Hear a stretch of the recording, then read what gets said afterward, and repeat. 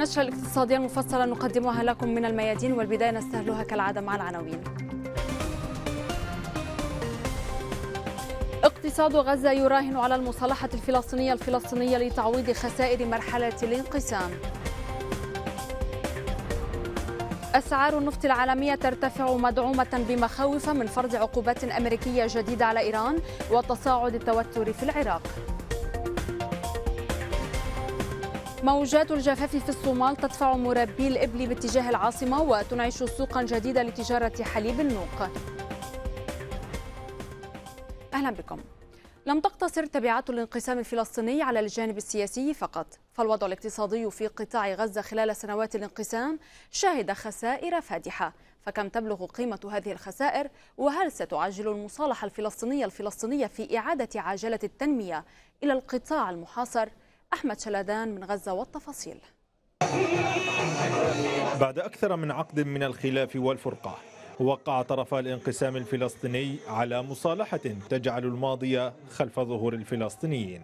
سنوات عجاف عاشها الغزيون دفعوا خلالها أثمانا باهظة.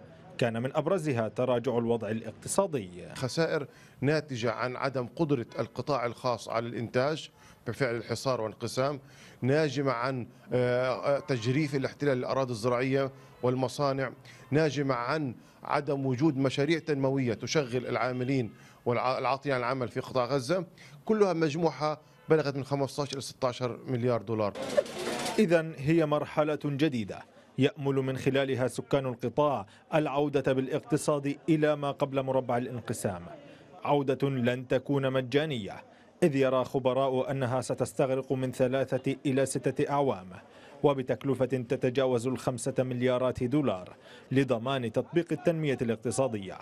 تنمية يأمل المواطنون أن يلمسوها قريبا. بالنسبة لنا ولمجال شغلنا إحنا اللي هي القصة الكهرباء وفتح المعابر وإدخال البضائع والرواتب ترجع للموظفين. إن شاء الله بتحسن بعض المصالحه الوضع الاقتصادي. إن شاء الله بتحسن بعض المصالحه ترجع المياه لمجاريها وتفتح كل الطرق والمعابر. وشهد قطاع غزة على مدار سنوات الانقسام تراجعا حادا في مدفوعات السلطة له. إضافة إلى تعثر الإنتاج بفعل توقف المصانع والورش وإغلاق المعابر ومنع التصدير ما جعل معدل النمو في عام 2016 أدنى منه في عام 2005 وبالنسبة إلى الغزين فالمصالحة لا تقف عند التبعات السياسية وتوحيد الكلمة والموقف فقط. فتدهور الوضع الاقتصادي طيلة سنوات الانقسام جعل من تحريك عجلة النمو والإنتاج معيارا آخر للحكم على نجاح التوافق الداخلي.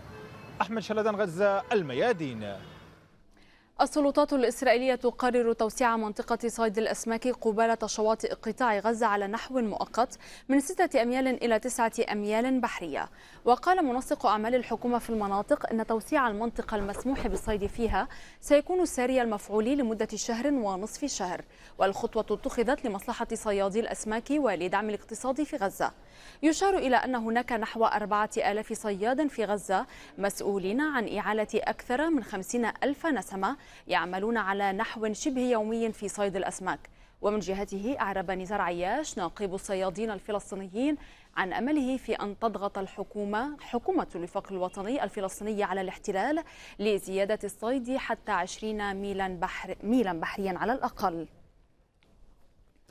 وبموازاة ذلك نقلت وسائل إعلام إسرائيلية عن مصدر حقوقي أن المدعية العامة الإسرائيلية بصدد اتخاذ قرار يقضي بإرجاع الكهرباء إلى قطاع غزة بالكمية ذاتها أي 120 ميجاوات التي كانت تزود بها قبل تقليصها في حزيران يونيو المنصرم بناء على طلب من السلطة الفلسطينية.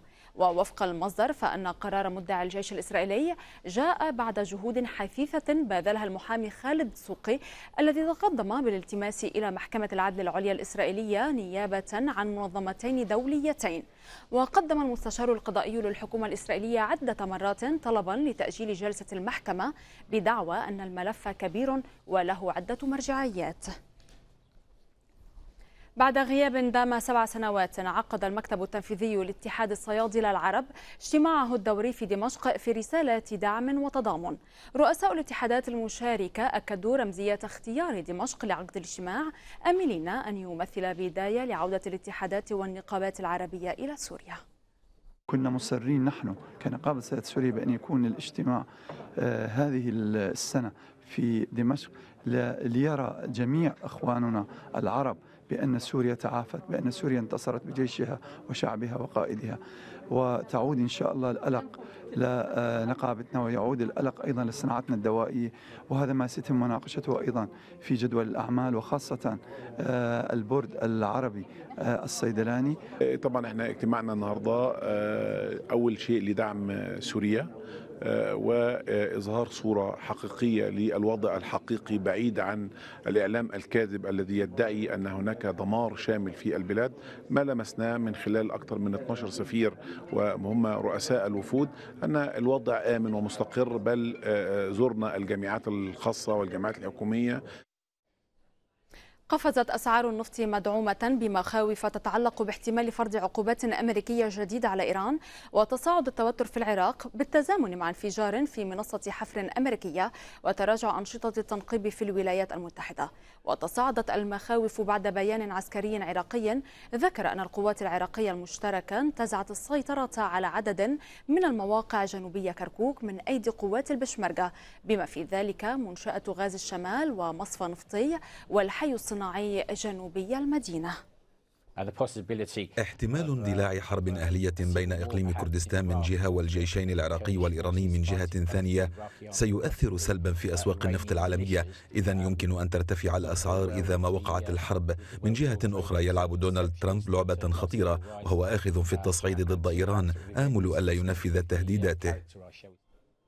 قال الرئيس التنفيذي لشركة البترول الوطنية الكويتية محمد المطيري إن إجمالي حجم الإنفاق على مشروع الوقود البيئي يصل إلى مليار دولار وذلك حتى نهاية أيلول سبتمبر الماضي.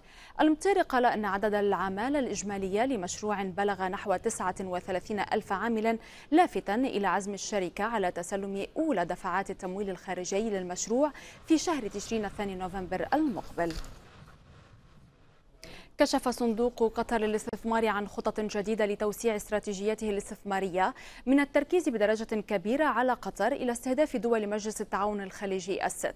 الاستراتيجية الحالية تسمح للصندوق باستثمار ما يصل إلى 15% من أصوله في دول مجلس التعاون الخليجي غير قطر ومن شأن الاستراتيجية المقترحة أن تلغي هذا السقف. ويقدر إجمالي صافي أصول صندوق قطر للاستثمار بأكثر من 97 مليار دولار.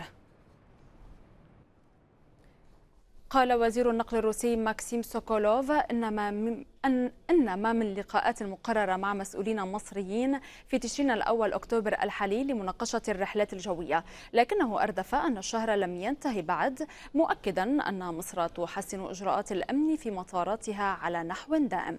وتوقفت حركة الطيران المباشر بين مصر وروسيا منذ نهاية تشرين الأول أكتوبر عام 2015 بعد تحطم طائرة روسية إثر إقلاعها من مطار شرم الشيخ جراء انفجار قنبلة وضعها تنظيم داعش على متنها. كشفت شركة روس أوبورن إكسبورت أنها وقعت عددا من عقود الأسلحة مع السعودية عقب المحادثات مع الملك السعودي. وكانت الهيئة الفيدرالية الروسية للتعاون العسكري التقني قد أفادت في وقت سابق بأن الشركة السعودية للصناعات العسكرية وروس أوبورن وقعتا عقودا بشأن توطين إنتاج بنادق آلية كلاشينكوف إضافة إلى توريد أنظمة الدفاع الجوي اس 400 والمنظومات الصاروخية المضادة للدبابات. تزور رئيسة الوزراء البريطانية تيريزا ماي بروكسل للقاء كبير مفوضي الاتحاد الأوروبي المعني بشؤون خروج بريطانيا من التكتل الاقتصادي ميشيل بارنيه ورئيس المفوضية الأوروبية جون كلود يونكر.